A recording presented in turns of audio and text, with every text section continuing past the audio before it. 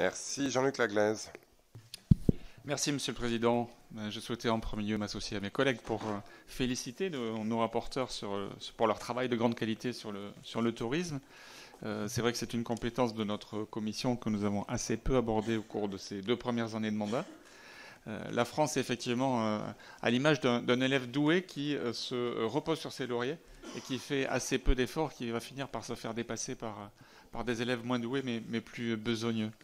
Euh, je tenais à vous interroger sur deux aspects euh, liés aux questions de logement et d'immobilier, ça ne vous étonnera pas, euh, qui me semblent importants pour atteindre les objectifs que vous citez. Tout d'abord, nous observons dans certains territoires une dévitalisation des stations touristiques liée à l'insuffisance ou à la vétusté du patrimoine de logements d'accueil.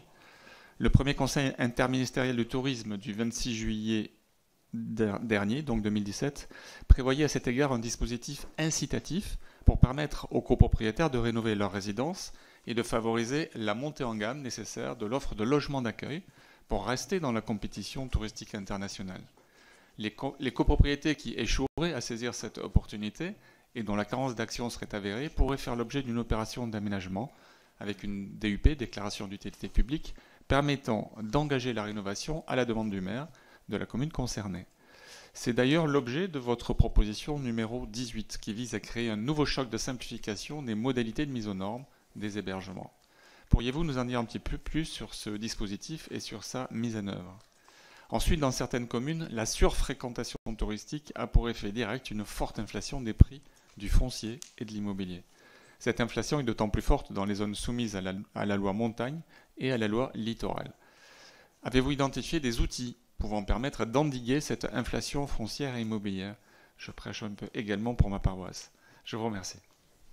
Merci. Ben... Suffisant.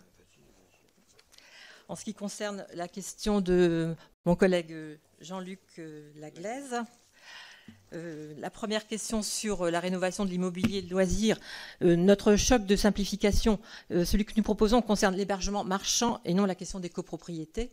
Ça, je voulais préciser ça.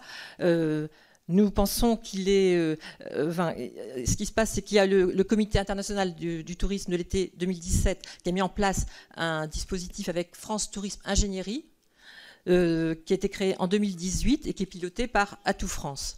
il est trop tôt aujourd'hui pour tirer les conclusions sur l'efficacité de ce plan. Il convient d'en suivre la mise en œuvre et de décider, le cas échéant, de généraliser cette expérimentation si elle s'avère un succès. En ce qui concerne la question sur la surfréquentation touristique et l'effet de cette dernière sur euh, l'inflation foncière et immobilière, Effectivement, nous évoquons les risques liés au surtourisme. Euh, la surfréquentation a pour corollaire des effets négatifs pour les habitants, l'inflation foncière immobilière, nous pensons faire face à cette problématique au-delà des outils de régulation dont disposent les collectivités qui ont été améliorés depuis la loi Elan. Il faut euh, veiller à une meilleure répartition des flux touristiques sur les territoires, évidemment, avec une politique des transports adaptée et en encourageant le développement d'une offre touristique différenciée et diversifiée partout sur le territoire. Et je voulais aussi préciser qu'à contrario, le surtourisme, ça peut aussi générer une dévalorisation des biens immobiliers quand il y a trop de nuisances.